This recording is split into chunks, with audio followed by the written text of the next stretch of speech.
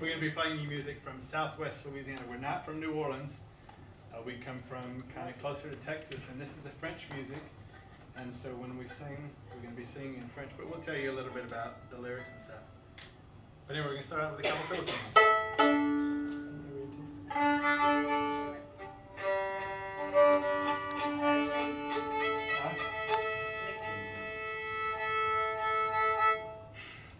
These tunes come from a guy from Eunice, Louisiana, a little town that I come from. Its population's maybe 10,000 people. Um, this guy, Dennis McGee, was the grandfather of Cajun music. He, when he was a young man uh, in the early 1900s, he learned all of this, a lot of the tunes that he recorded in the 20s from a man who was 100 years old. So it's very ancient, kind of the earliest Cajun repertoire. And his name was Dennis McGee. But he swore that McGee was a French name because he didn't know any McGees that didn't speak French. so this is where we come from.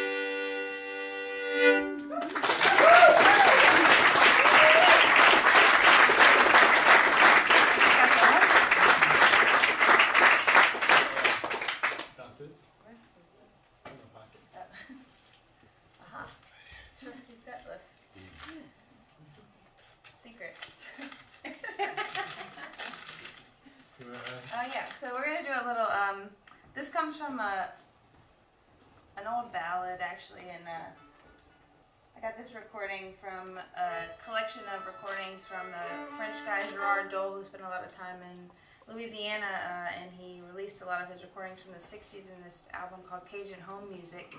this particular recording is from a guy Pierre Daigle, and he sang it a cappella, and there are a lot of versions of this story, this ballad Um, some of them are called Pont de Nantes, the Nantes Bridge. This one is called a danseuse noyée, which means the drowned dancer. But uh, it's about a girl who wants to go to a dance. Basically, the story is usually she asks her mother to go to the dance. Her mother says no. She has a dream that she drowned. She sneaks away to the dance, and she does drown. Because her brother tells her it's fine. So the lesson is, I guess, always listen to your mother and never listen to your brother. That's called La Danseuse Noyée.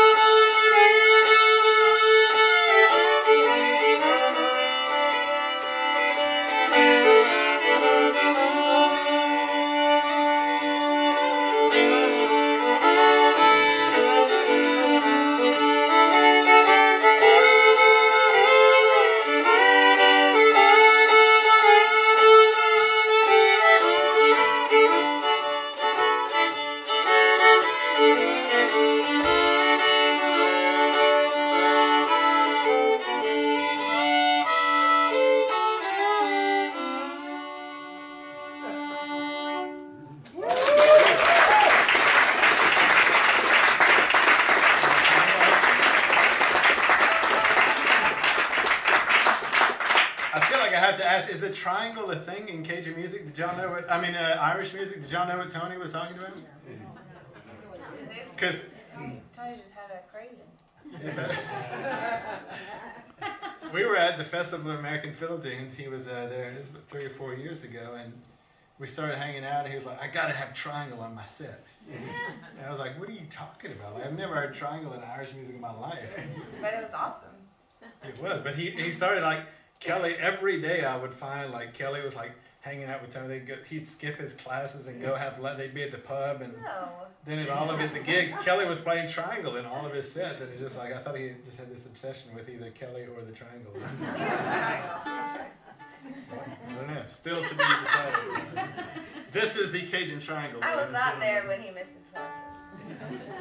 Tuning, but- What is this song, Kel? This is a, a another little acapella song that um, we set to music. It's called uh, Mes souliers rouges, which means my red shoes. But it's kind of a one of those songs. There's a lot in English and I'm sure many other languages um, where you keep adding things. Like I don't know if you guys know the song. Like there's a hole in the ground and a tree in the hole and the, hole in the band. That goes all around that one and um, so this is kind of like that but with clothing items and it's in french and just talks about um, basically says if i had the if i had shoes that my mother gave me the shoes would be red and then it says if i had the stockings they would be made of silk and if i had the garters they would be whole garters um, anyway. Lost in translation. Yeah, yeah, maybe lost in translation. I don't wear garters often, so I don't know what they're talking about. But um, yeah, so it just keeps adding. So it's kind of a tongue twister. So we'll see if I get tripped up. Yes, we will. Yeah.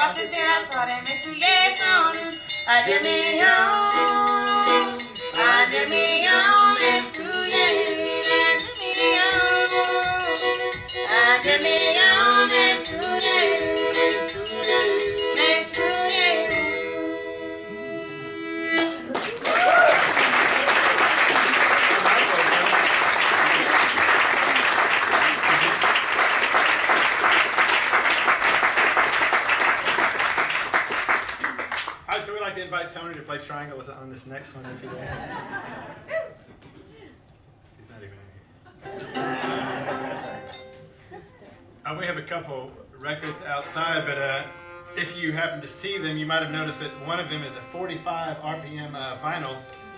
And uh, the reason that we have that is because uh, it's kind of a long story, but just a shortened version of it is that Kelli and I were on vacation one time with some friends, including my brother and uh, my parents and a bunch of other people.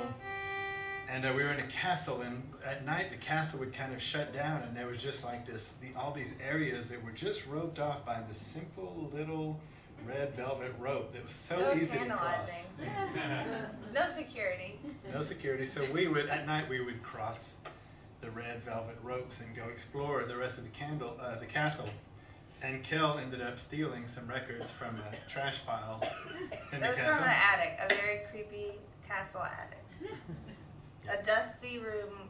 No one was listening to these records, and so I grabbed a stack and I just put them in my jacket. and uh, and I brought them home eventually and ended up listening to them. And this was on one of them. And he, uh, Joel has a 45 jukebox in his kitchen that he ended up getting. And I put a few of them in there. And this is one that just kept getting played over and over. And decided we should work it up. So here. And we ended up putting it on this 45 in, in honor of the 45 that I stole from a castle. It's a Petula Clark song. It's called uh, Tiju à l'amour. You play it, love.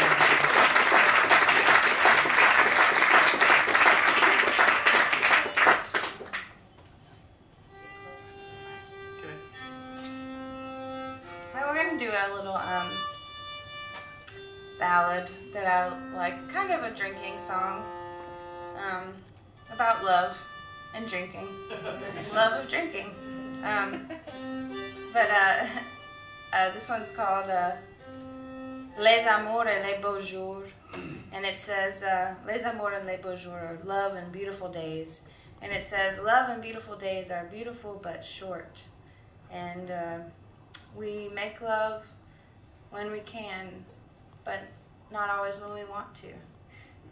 And it says, if I had a lover that loved me tenderly, I would treat them well and their heart would be mine. And then it says, in the morning when I wake up, I drink a small quart of wine. Just to help me think of love for the rest of my days. Explains a lot, this is one I wrote. No.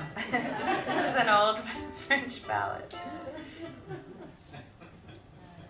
Just go for it. Les amours et les beaux jours, ils sont beaux mais ils sont courts. Les amours et les beaux jours, ils sont beaux mais ils sont courts. On fait l'amour et quand un peu, et quand un peu, et quand un peu. On fait l'amour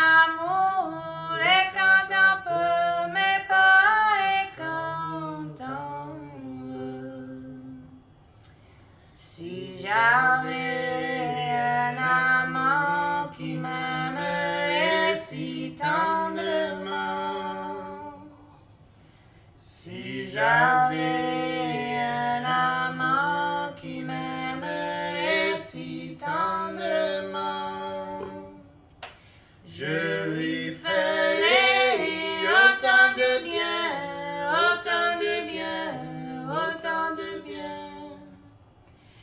Je lui ferai autant de bien sans serait le mien. Le matin en me levant, je bois un quart de vin. Le matin en me levant, je bois un quart de. C'est pour penser à l'amour, à l'amour, à l'amour. C'est pour penser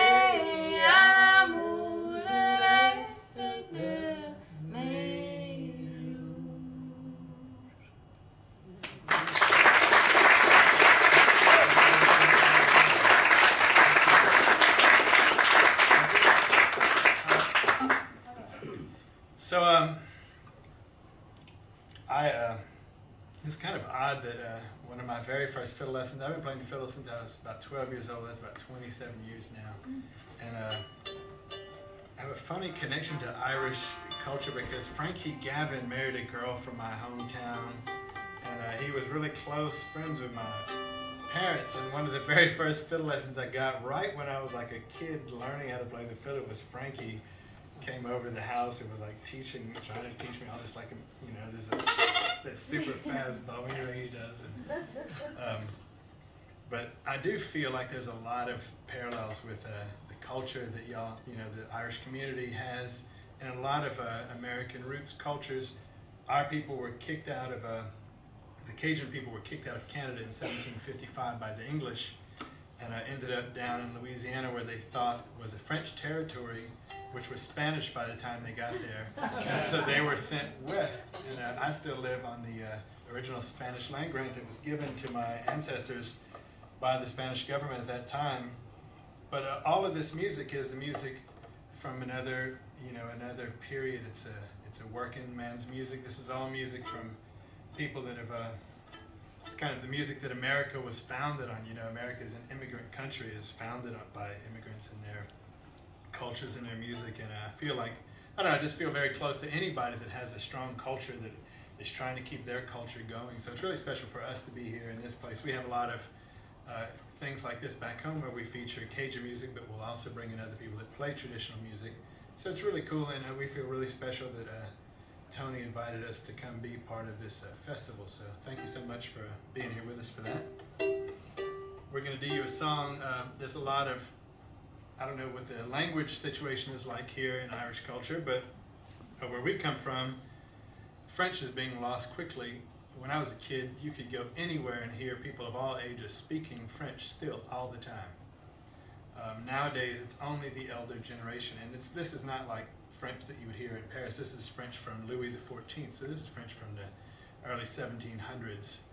Um, so the Cajun language is an archaic language and it's quickly being lost. But there's a lot of movements in Louisiana to keep it going. There's a lot of immersion schools. You can now go, in Lafayette, Louisiana, you can go from kindergarten through high school, all in French if you choose to.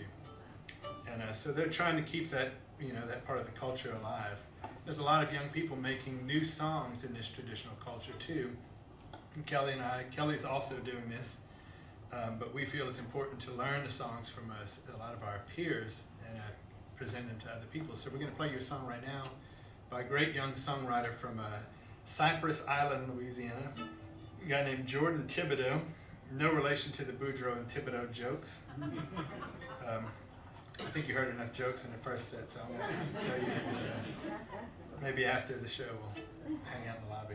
But this is a, a song, it's called Chat Creole, and it's about uh, someone who sees an old guy playing fiddle on the street and he says, Hey, old man, what is that you're playing? He said, Oh, it's just a, it's a song I'm just singing about my worries. He says, uh, I lost my house. He says, I lost my wife. I lost everything. But I've got my fiddle and I've got my, I've got my memories and I'm just going to play. I'm just to play. It's a song called Creole by Jordan Thibodeaux. Just check my notes with you, Kim.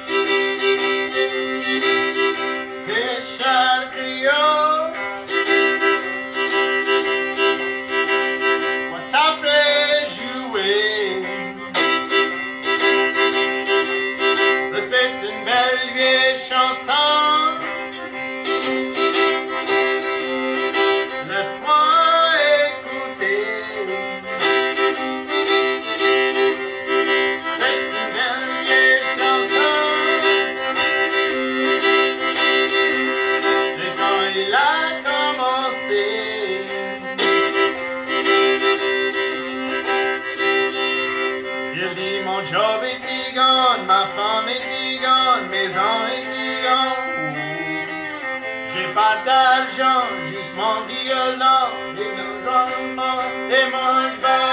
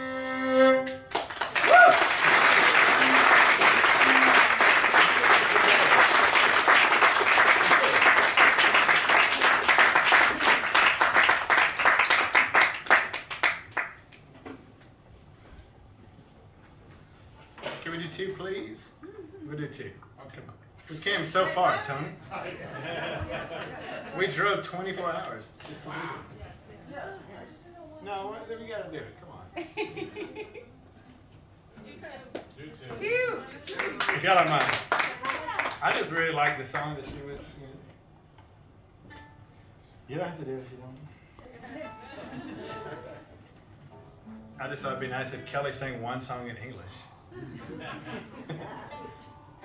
um, all right, let's skip it. We got a really tight set list up here, y'all. Um, yeah, so we, we did drive up here. We were so excited that Tony invited us to come to this. We just got in the car and drove pretty much straight through just to get up here for this. It's, it's a pretty good haul from Louisiana. But uh, Kel is going to sing y'all a song right now. It comes from a guy who was a star in the Grand Ole Opry for over 50 years. He was from Mamou, Louisiana, which is this horrible, vile little town about 10 minutes north of my house. But it's one of the funnest places in the world. Um, they've got a bar called Fred's Lounge. It only opens on Saturdays, and it only opens at 8 a.m. and it closes at 1:30 p.m. every Saturday. it's closed by 1:30 p.m. and they have a Cajun band every single Saturday. And it's uh, an amazing, hilarious place to be. But this guy, Jimmy C. Newman, uh, came from there. He ended up having a hit called The Alligator Man and uh, became known as the Alligator Man. He had all these beautiful suits. But anyway, Kelli and I got together with a bunch of friends of ours who have a band called the Foghorn String Band. And uh, we made a record called Farewell Alligator Man shortly after Jimmy passed away because he'd gotten to be friends of ours, or a friend of ours. And uh, I just love the way she sings this song. And I'm, this is my special request to all of you. This is called The Blue Darling, and this is from Jimmy C. From Monroe, Louisiana. Yeah, I think we have some of the Farewell Alligator Man CDs for sale in the lobby. It's a great, yeah, great collaboration with some friends of ours.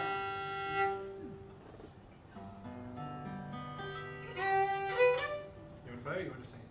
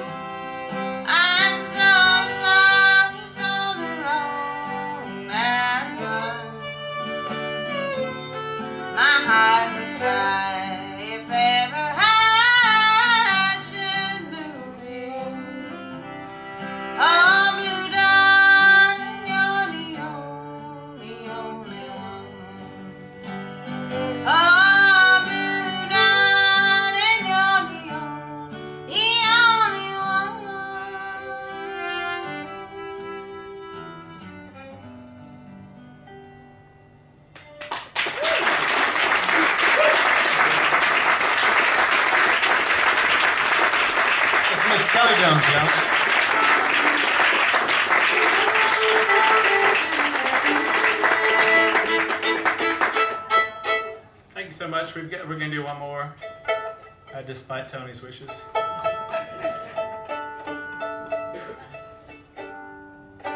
Um, we're just going to play you a, a, ballad followed by a set of tunes that come from uh, some of our favorite contemporary fiddle players. Um, a tune written by uh, Mr. Michael Doucet, and a tune written by buddy of Mr. Uh, Al Berard. So uh, the first one is called Goodbye Shatter Me. Goodbye, my dear friend. And uh, thank you all for listening and enjoy the rest of the concert. Thank you.